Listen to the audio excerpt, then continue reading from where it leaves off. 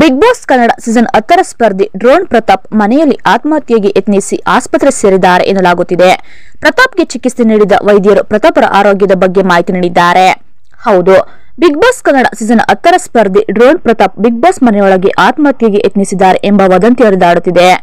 ಆದರೆ ಪ್ರತಾಪ್ಗೆ ಅನಾರೋಗ್ಯ ಉಂಟಾದ ಕಾರಣ ಅವರು ಆಸ್ಪತ್ರೆ ಸೇರಿದ್ದಾರೆ ಎಂದು ಅವರ ಅಧಿಕೃತ ಸಾಮಾಜಿಕ ಜಾಲತಾಣಗಳಲ್ಲಿ ಮಾಹಿತಿ ಹಂಚಿಕೊಳ್ಳಲಾಗಿದೆ. ಇದೀಗ ಪ್ರತಾಪರ ಆರೋಗ್ಯ ತಪಾಸಣೆ ಮಾಡಿರುವ ವೈದ್ಯರು ಈ ಬಗ್ಗೆ ನಿಖರ ಮಾಹಿತಿ ನೀಡಿದ್ದಾರೆ. ಹೌದು. ಪ್ರತಾಪ್ ಅವರನ್ನು ಶ್ರೀ ಸಂಜೀವಿನಿ ಆಸ್ಪತ್ರೆಗೆ ದಾಖಲಿಸಲಾಗಿತ್ತು. ಪ್ರತಾಪ್ಗೆ ಚಿಕಿತ್ಸೆ ನೀಡಿದ ವೈದ್ಯರು, ಪ್ರತಾಪ್ ಬಂದಾಗ ಅವರಿಗೆ ವಾಂತಿ ಮತ್ತು ಬೇದಿ ಆಗಿತ್ತು.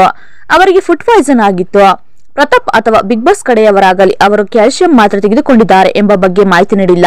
ಸರಿಯಾಗಿ ಊಟ ಮಾಡದೆ ಇರುವುದರಿಂದ ಹೀಗಾಗಿದೆ ಎಂದಿದ್ದಾರೆ. ಆಸ್ಪತ್ರೆಯಲ್ಲಿ ಡ್ರೋನ್ ಪ್ರತಾಪ್ಗೆ ಹಲವು ಪರೀಕ್ಷೆಗಳನ್ನು ವೈದ್ಯರು ಮಾಡಿದ್ದಾರೆ.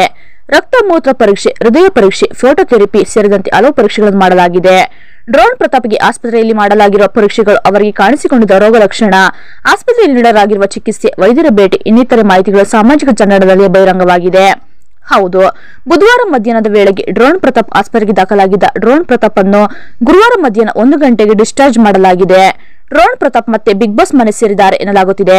ಡ್ರೋನ್ ಪ್ರತಾಪ್ ಕೆಲ ದಿನಗಳಿಂದಲೂ ಬಿಗ್ ಬಾಸ್ ಮನೆಯಲ್ಲಿ ಡಲ್ ಆಗಿದ್ದರು ಮನೆಯಿಂದ ತಂದೆ ತಾಯಿ ಬಂದ ದಿನ ಬಹಳ ಖುಷಿ ಇದ್ದ ಪ್ರತಾಪ್, ಆ ನಂತರ ಮನೆಗೆ ಬಂದ ಸ್ವಾಮೀಜಿ ಪ್ರತಾಪ್ ತನ್ನ ತಂದೆ ತಾಯಿಗಳಿಂದ ದೂರವೇ ಇರಬೇಕು ಎಂದು ಹೇಳಿದ್ದು ಅವರಿಗೆ ತೀವ್ರ ಬೇಸರ ಉಂಟಾಗಿತ್ತು. ಇದೇ ಕಾರಣಕ್ಕೆ ಪ್ರತಾಪ್ ಆತ್ಮಹತ್ಯೆಗೆ ಯತ್ನಿಸಿರಬಹುದು ಎಂಬ ವದಂತಿ ಹರಿದಾಡುತ್ತಿದೆ. ಆದರೆ ಈಗ ಬಿಡುಗಡೆಯಾಗಿರುವ ವೈದ್ಯಕೀಯ ವರದಿಗಳು ಗಮನಿಸಿದರೆ ಪ್ರತಾಪ್ಗೆ ಕೇವಲ ಅನಾರೋಗ್ಯವಷ್ಟೇ ಆಗಿ ತಿನ್ನಲಾಗಿದೆ. ಡ್ರೋನ್ ಪ್ರತಾಪರ ಅನಾರೋಗ್ಯದ ಸಂಬಂಧ ಕಲರ್ಸ್ ಕನ್ನಡ ವಾಹಿನಿಯವರು ಈವರೆಗೆ ಯಾವುದೇ ಅಧಿಕೃತ ಮಾಹಿತಿ ಹಂಚಿಕೊಂಡಿಲ್ಲ.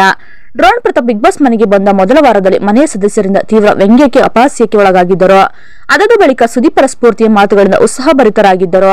ಕೆಲವು ವಾರಗಳ ಕಾಲ ಮನೆಯ ಪ್ರಮುಖ ಸ್ಪರ್ಧೆ ಗೆಲ್ಲುವ ಸ್ಪರ್ಧೆ ಎಂಬಂತೆ ಬಿಂಬಿತವಾಗಿದ್ದರು. ಆದರೆ ಕಳೆದ ಕೆಲ ವಾರಗಳಿಂದ ಮತ್ತೆ ಉತ್ಸಾಹ ಕಳೆದುಕೊಂಡಿದ್ದಾರೆ. ಹೌದು ವೀಕ್ಷಕರೇ ಹಾಗಾದ್ರೆ ಈ ವಿಡಿಯೋ ಬಗ್ಗೆ ನಿಮ್ಮ ಅಭಿಪ್ರಾಯ ಪರಿ ಕಮೆಂಟ್ ಮಾಡಿ, ಹಾಗೆ ಶೇರ್ ಮಾಡಿ.